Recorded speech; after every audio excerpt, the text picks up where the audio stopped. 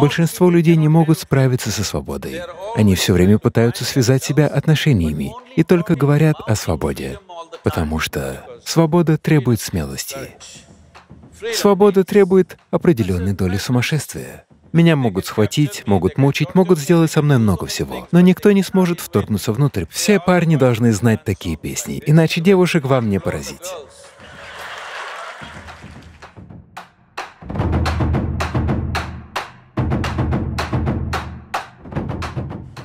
Несмотря на то, что мы окружены таким большим количеством людей, нам все же не хватает чувства принадлежности к кому-то. Нам хочется, чтобы нас принимали и любили. Как справиться с такой неудовлетворенностью и одиночеством? На одном уровне многие задают вопросы о том, как мне стать свободным от чего-то. На другом уровне вы спрашиваете, как мне связать себя с кем-то или чем-то. Вам нужно определиться. Что для вас является наивысшей ценностью в жизни? Свобода или зависимость? Мне бы хотелось услышать это слово. Свобода. Но если вы свободны, вы чувствуете себя потерянными. Если вы пойдете в горы, и там вы абсолютно свободны, то есть вокруг никого, есть только вы и горы, и больше ничего, вы не будете чувствовать себя свободными, вы будете потеряны. Для того, чтобы справиться со свободой, требуется определенная ясность ума и достаточная сила. Большинство людей не могут справиться со свободой. Они все время пытаются связать себя отношениями и только говорят о свободе. Если вы предоставите им свободу, они будут глубоко несчастны. Это эволюционная проблема, в том смысле, что человечество сейчас словно птица. Если птицу долгое время держать в клетке и однажды открыть дверцу, птица не улетит. Находясь внутри, она будет биться, стремясь выйти из клетки, но она не улетит. Человек находится в таком же состоянии. Для всех остальных созданий природа начертила две линии, внутри которых они живут и умирают, и они это делают. Только для людей нет ограничительных линий ни сверху, ни снизу. От этого они и страдают. Если бы их жизнь была регламентирована, как у всех остальных живых существ, не было бы ни стресса, ни беспокойства, они бы не страдали от своего интеллекта. Это то, чего вы неосознанно ищете. Вы можете искать это в форме отношений, профессии, национальности, этнической принадлежности, сообщества, Бога, рая, ада. Вы лишь пытаетесь провести искусственную линию, которой не существует. Потому что свобода требует смелости. Свобода требует определенной доли сумасшествия. Если вы абсолютно нормальный человек, вы не можете быть свободными. Вы будете бесконечно ходить между двумя линиями логики. Свобода требует значительной силы. Первое необходимое условие для того, чтобы стать свободным — вы понимаете, что любое переживание человека имеет под собой химическую основу. Да? То, что вы называете радостью, — это один вид химии, страдание — другой вид. Стресс — один вид, тревога — другой, агония — один вид, экстаз — другой вид. По крайней мере, про экстаз вы понимаете.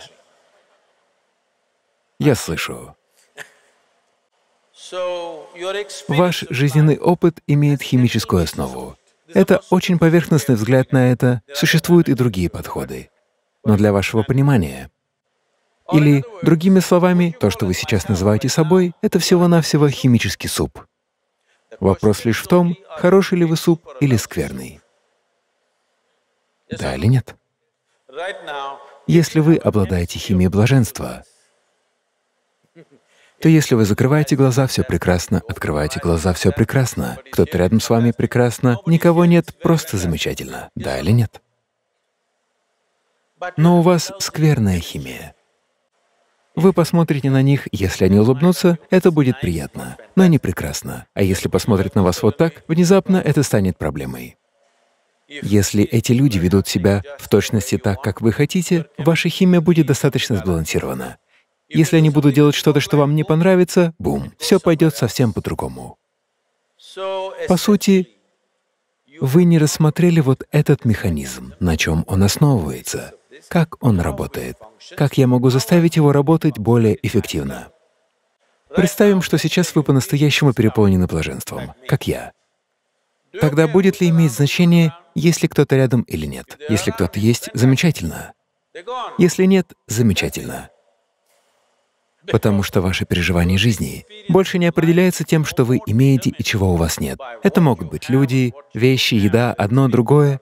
Переживание жизни не должно определяться этими вещами. Когда ваше существование больше не определяется чем-то, что находится вовне,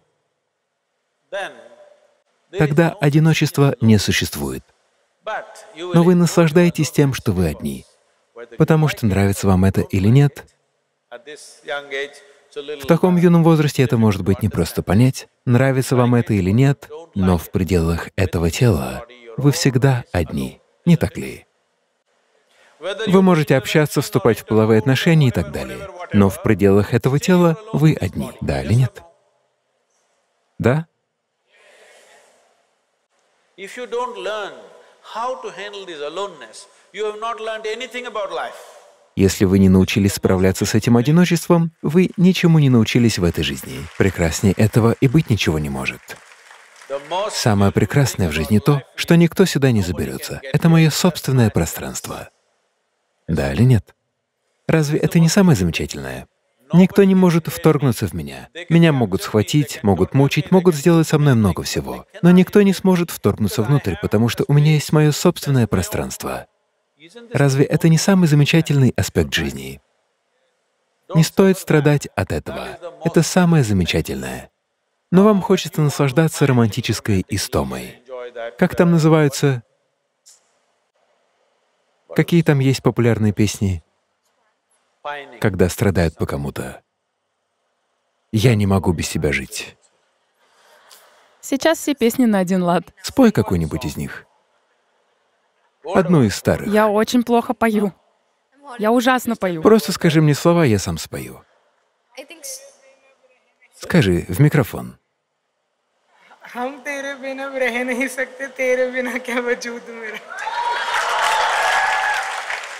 Это ты мне все это говоришь? Хорошо, хорошо, я понял.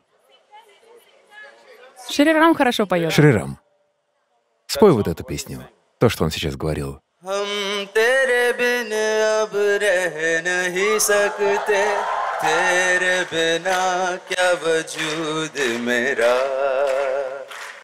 Все парни должны знать такие песни, иначе девушек вам не поразить. Но девушки должны понимать, что парни это делают, потому что у них есть определенные потребности. На самом деле это неправда. Но пока что давайте получать удовольствие от этой игры, потому что все, что мы делаем, это определенная игра. Жизнь — это игра, потому что у нее есть конец. Но самое главное — это то, как вы чувствуете себя внутри. Если сейчас вами управляют лишь ваши потребности, вы будете жить очень жалкой жизнью.